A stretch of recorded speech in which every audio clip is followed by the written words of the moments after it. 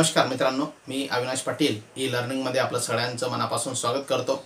आज आपण इयत्ता दहावीच्या पाठ्यपुस्तकातील एक पॉईंट दोन and encounter of a special kind या पाठाला सुरुवात करणार आहोत. तपन मुखर्जी या लेखकाने अतिशय सुंदर असा त्यांच्या जीवनातला एक अनुभव या पाठाच्या माध्यमाने आपल्याला अभ्यासनासाठी दिलेला आहे. एक अविस्मरणीय क्षण किंवा घटना म्हणून आपण याकडे पाहू शकतो. त्यांच्या जीवनातली ही एक सत्य घटना तपन मुखर्जी यांनी अतिशय चांगल्या पद्धतीने या पाठामध्ये रेखाटलेली मित्रांनो आपण जी सुरुवात करणार आहोत ती पॅसेज बाय पॅसेज मी या ठिकाणी एक्सप्लेन करून त्याच्यावरच्या ॲक्टिव्हिटीज आपण घेणार आहोत. पण तत्पूर्वी तुम्हाला माझी एक विनंती असेल का तो लेसन सायलेंट रीडिंग आपण सगळ्यांनी करायचं आहे तो पाठ पूर्ण वाचायचा आहे समजून घ्यायचा आहे आणि नंतर मग हा व्हिडिओ बघून त्याचा तुम्ही सराव करू शकतात. पॅसेज बाय पॅसेज तुम्ही तो लक्षात घेऊन त्याच्यावरच्या ॲक्टिव्हिटीज तुम्ही सॉल्व्ह करू शकतात. त्याचा नक्कीच आपल्याला फायदा होईल. चला तर मग तपन मुखर्जी यांच्या या an encounter of a special kind या पाठाच्या पहिल्या परिच्छेदकडे आपण वळूया. In this lesson the writer Tapan Mukherjee gives an account of his encounter with a langur. A male langur was biting and trying to kill a baby langur near the writer's house. So, friends, before starting this lesson, let us see the warming up activity before starting the lesson. Warming up activity is an important one for us before starting the lesson. या ठिकाणी एक picture दाखवलेलं आहे चित्र दाखवलेलं आहे आणि प्रश्न विचारले आहेत. What do you see in the picture या चित्रामध्ये तुम्हाला काय दिसतंय? तर एक लहान मुलगी a small girl is carrying a puppy in a basket on her head तिच्या डोक्यावर ती एक लहान कुत्र्याचं पिलू घेऊन जात असताना आपण या चित्रामध्ये पाहतोय आणि ती पाण्यामधून जाते. दुसरा प्रश्न what do you think the girl is trying to do why मुलगी काय करण्याचा प्रयत्न करते आणि का? तर या ठिकाणी आपल्याला असं सांगता येईल का the girl is trying to save the dog त्या कुत्र्याला वाचवण्याचा ती प्रयत्न करते because it may drown in the flood third question if you were in the place of that girl what would you do जर त्या मुलीच्या जागेवर तुम्ही राहिले असते तर तुम्ही काय केलं असतं?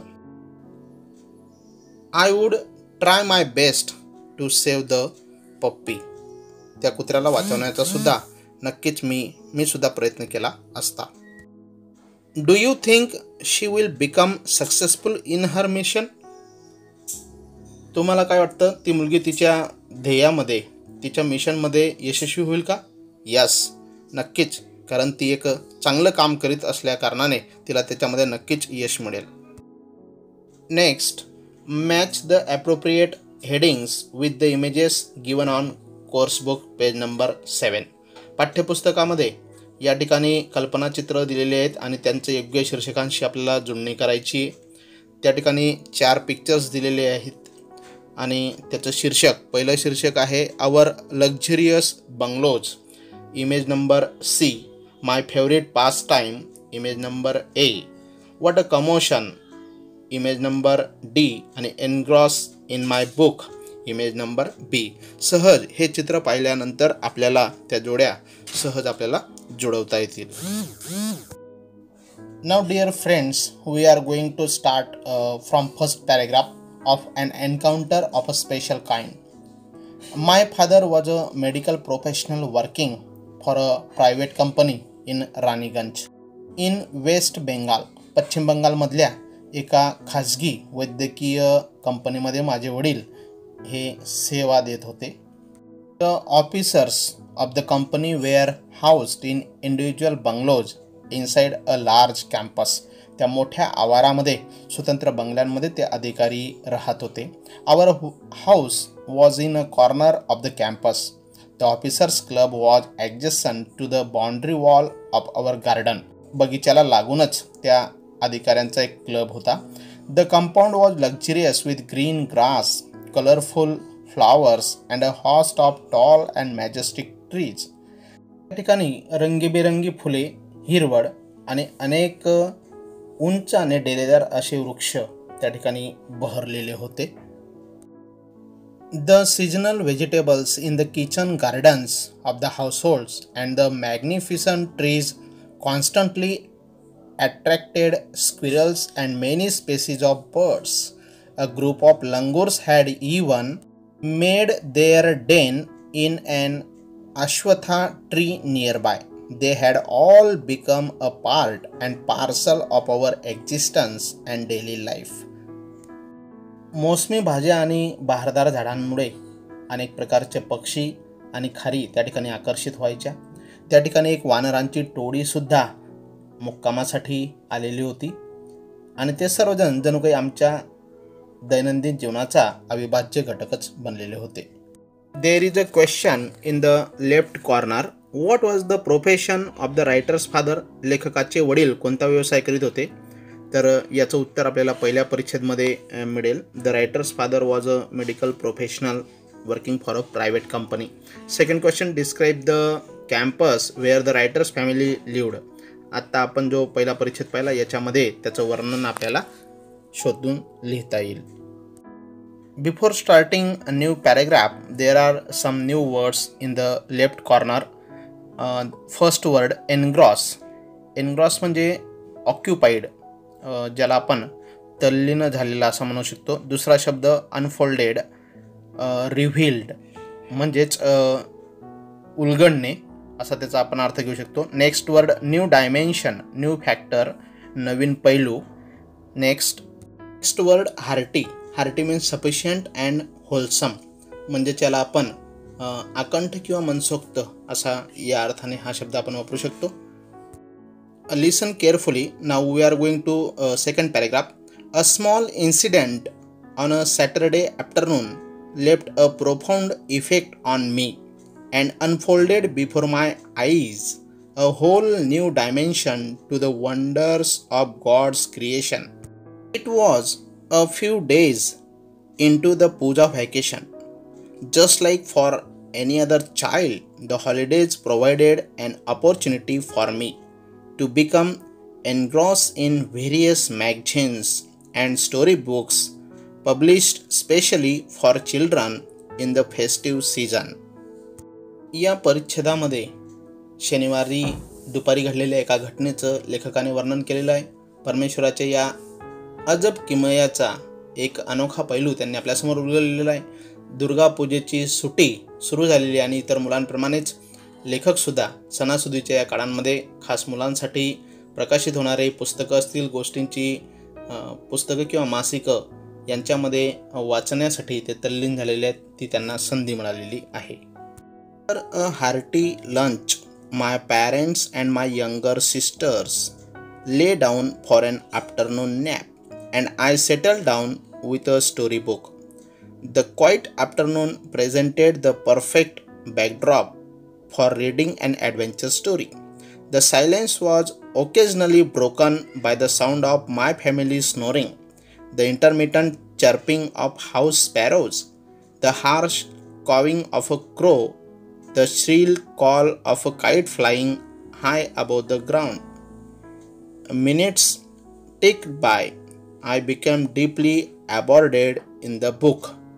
दुपारच्या जेवणानंतर माझ्या घरचे वामकुक्षी घेत पडलेले होते आणि मी गोष्टींचं पुस्तक वाचण्यामध्ये निवांत बसलेलो होतो दुपारचं ते अतिशय शांत असं वातावरणाचं वर्णन लेखकाने या ठिकाणी केलेलं आहे त्या शांततेमध्ये मध्येच घरच्यांचं घोरणं चिमण्यांचा चिवचिवाट अधूनमधून कावड्यांची कावकाव आणि उंचावरून उडत जाणाऱ्या घारीचा कर्कश असं ओरडणं भंग करीत होतं.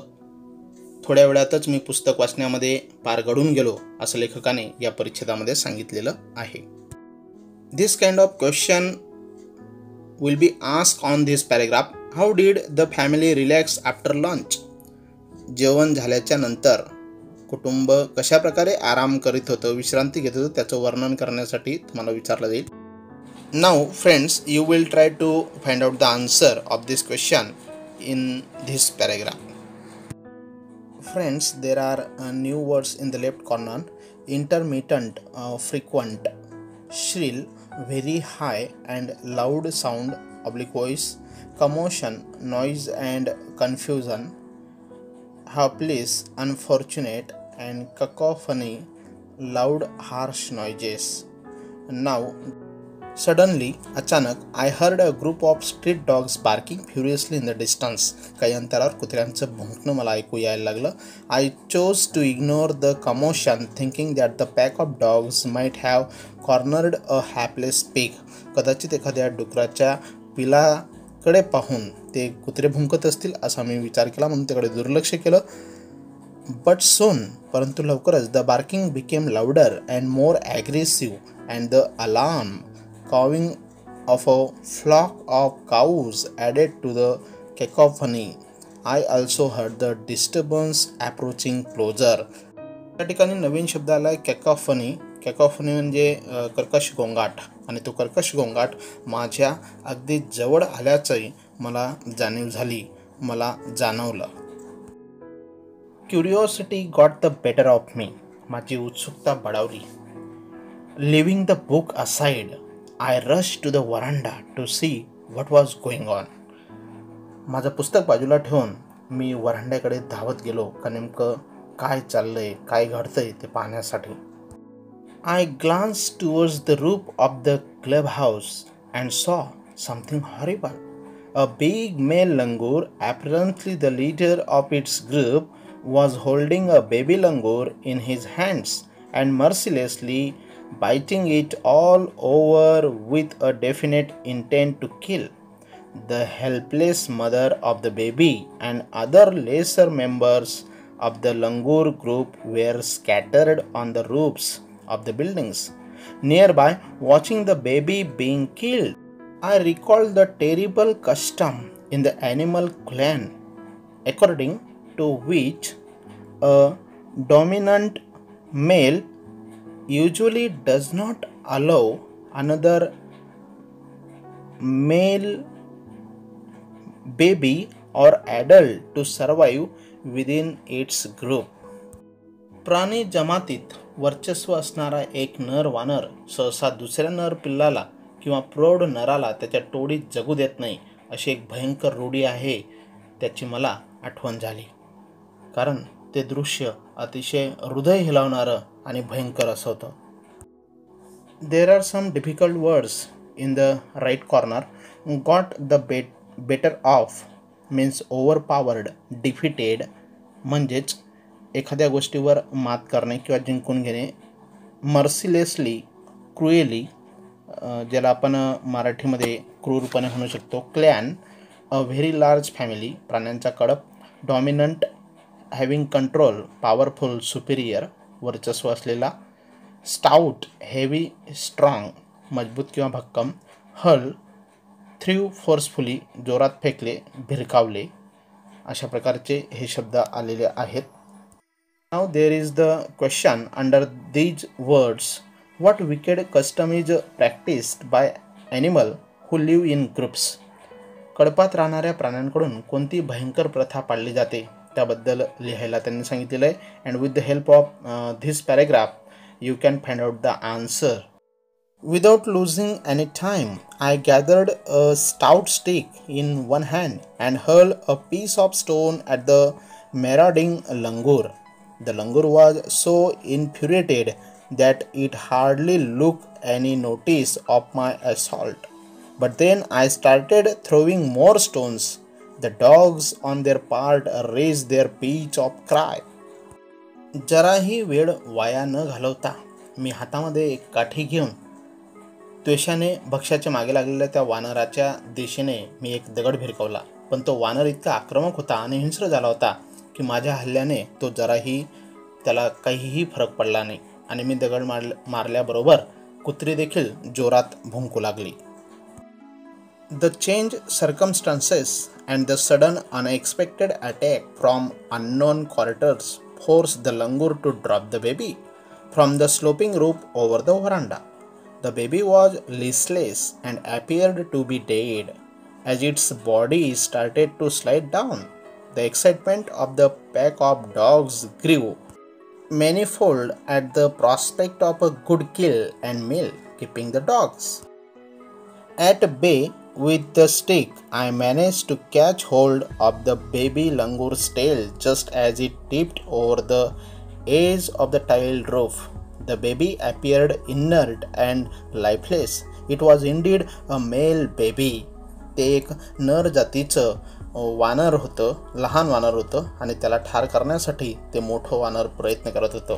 परंतु त्याला सोडल्याच्या नंतर छपरावरून ते पडत असताना त्याची शेपटी पकडून मी त्याला पकडलं असं वर्णन या परिच्छेदामध्ये लेखकाने केलेलं आहे. By this time my parents and sisters had come out on the verandah and were witnessing my rescue operation some of our neighbours had also gathered in the distance सगळा गोंधळ ऐकून माझे घरातील सर्व सदस्य आणि शेजारी लोकसुद्धा वरांड्यावर आले आणि या सगळ्या गोष्टीचे ते साक्षीदार झाले. I took the baby langur to our backyard and gently laid him on the floor inside the poultry coop his body was full of deep bite marks and scratches blood was oozing from some of the wounds The baby remained motionless. My father provided first aid. To clean the wounds and uh, stop the bleeding, I was relieved to find out that the baby was breathing even though his breaths were shallow. त्या वानराच्या पिल्लाला त्याच्या जखमा प्रथमोपचाराने स्वच्छ केल्यामुळे त्याच्यातून येणारं रक्त त्या ठिकाणी थांबलेलं होतं आणि पिल्लाचा श्वासोश्वास मंदावलेला असला तरी तो चालू आहे हे पाहून मला थोडंसं बरं वाटलं. Splashes of cold water made the baby stir and after a few shaky attempts he sat up he was in state of shock and started trembling like a leaf in the wind his two little twinkling eyes welled up with tears and he started to sob with a muffled cry. Just like a human child would after experiencing trauma, I offered him a peeled banana, which he accepted with his unsteady hand and began taking hesitant bites. पाण्याचे हपकारे मारल्यावर पिल्लाला शुद्ध आली आणि ते धडपडत कसंबसं उठून बसलं त्याच्या दोन्ही लुकलुकत्या चिमुकल्या डोळ्यांमध्ये पाणी आलेलं होतं ते हुंके देऊन रडू लागलेलं होतं ते बिचकलेलं होतं थरथरलेलं होतं घाबरलेलं होतं त्याची अवस्था बघून मी त्याला खाण्यासाठी मी सोलून दिलेले केळे त्याने थरथरत्या हाताने घेतला आणि बिचकत बिचकत ते खाऊ लागलं. Next paragraph my attention was fixed on the revival of the baby langur suddenly I had an uncanny feeling of being watch I turn away from the coop and looked up there sat the mother langur on our kitchen roof watching every move I made. She simply sat there quietly, as if convinced that no harm was being done to her child. त्या baby लंगूरची I the mother of the baby langur was watching everything Which is done by me माझ्याकडून ज्या काही कृत्या त्या ठिकाणी घडत होत्या त्या सगळ्या ती त्याची आई पाहत होती न्याहाळत होती. आणि आपलं बाळ सुरक्षित आहे याची तिला जेव्हा खात्री खात्री झाली तेव्हा ती त्या ठिकाणी मात्र स्तब्ध बसून माझ्या प्रत्येक कृतीचं निरीक्षण करत होती. Now the mother of the baby langur was now fearless because her baby was safe and secure in the hands of the writer.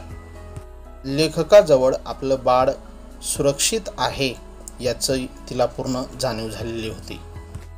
या ठिकाणी लेखकाने प्राणी आणि मनुष्य यांच्यातला संबंध यांच्यातलं एक वेगळं नातं यांच्यातला संवाद या ठिकाणी रेखाटण्याचा या प्रसंगाच्या माध्यमातून प्रयत्न केलेला आहे.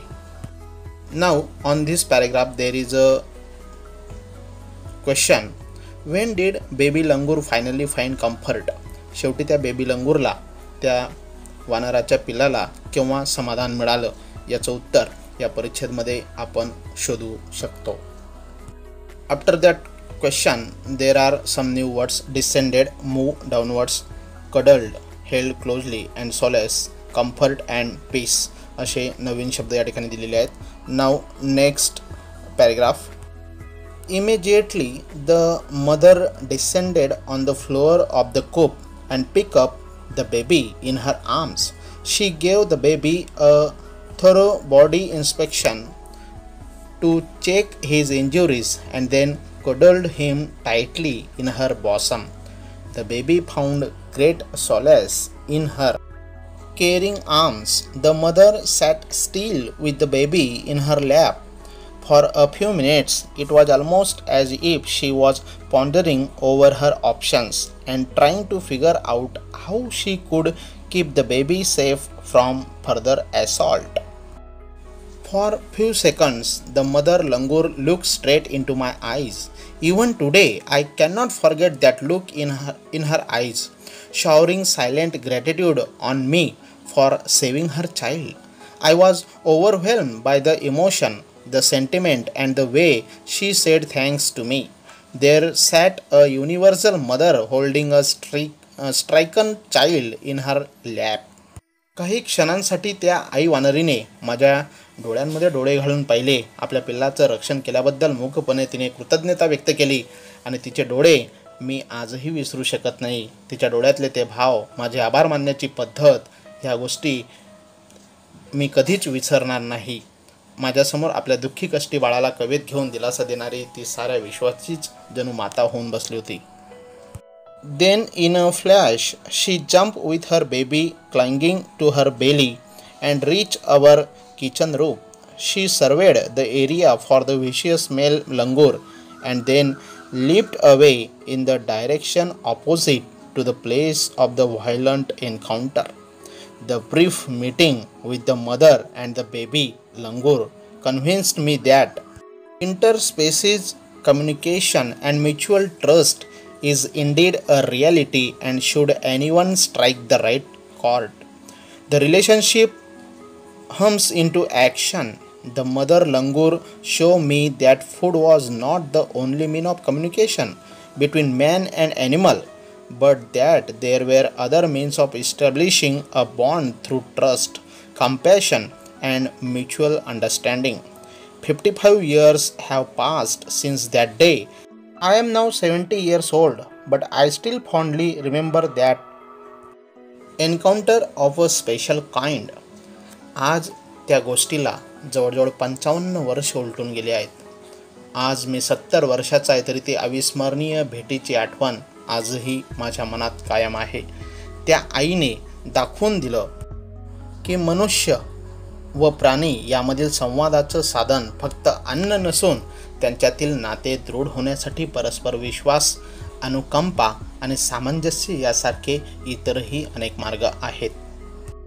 एकमेकातील संवाद आणि परस्पर दृढ विश्वास ही खरोखर सत्य गोष्ट आहे. आणि एकमेकांच्या मनांच्या तारा जर योग्य रीतीने छेडल्या गेल्या तर ते नाते अधिक सुरेल बनते याची खात्री त्या गोष्टीवरून मला झाली.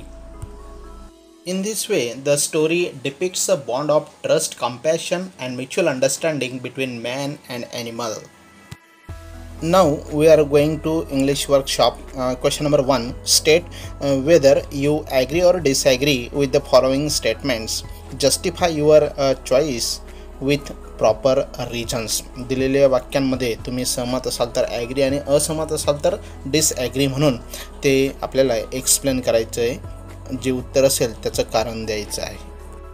Next question match the phrases in column A with their meanings in column B column एमध्ये फ्रेजेस दिलेले आहेत आणि बी कॉलममध्ये त्याचे अर्थ मिनिंग्स दिलेले आहेत त्यांच्या जोड्या जुळवण्यासाठी आपल्याला या ठिकाणी विचारण्यात आलेलं आहे. Next question write in your own words why did the narrator ignore the barking of dogs लेखक त्या कुत्र्यांच्या भोंगण्याकडे दुर्लक्ष का करीत होता? त्याचं उत्तर लिहायचं आहे why did mother langur make no effort to grab her baby from the coop खोराड्यातील पिल्लाला ताब्यात घेण्यासाठी आई वानरीने कुठलीही हालचाल का केली नाही? याचं कारण आपल्याला द्यायचं आहे question number four read the text and arrange the occurrence of happenings from the text in a sequential order संपूर्ण पाठ वाचून त्या पाठातील घटना आपल्याला क्रमानुसार मांडण्यासाठी या प्रश्नामध्ये सांगण्यात आलेले जवळजवळ तेरा घटना या ठिकाणी दिलेल्या आहेत. त्या आपल्याला क्रमाने मांडायच्या आहेत. Question number five discuss the following and write about it in your own words in five to six lines A what would you do if you find and injure bird while returning from your school शाळेतून परतत असताना जर एखादा जखमी पक्ष आपल्याला आढळला तर तुम्ही काय कराल? And B one what opinion do you from about the narrator from the story next question complete the following and write a paragraph on each of the given activities mother child relationship love and affection four points are remaining there then another topic injured animal how will you help तुम्ही त्याला कशा प्रकारे मदत कराल ते लिहायचे पाच मुद्दे. पहिला एक मुद्दा त्या ठिकाणी दिलेला आहे.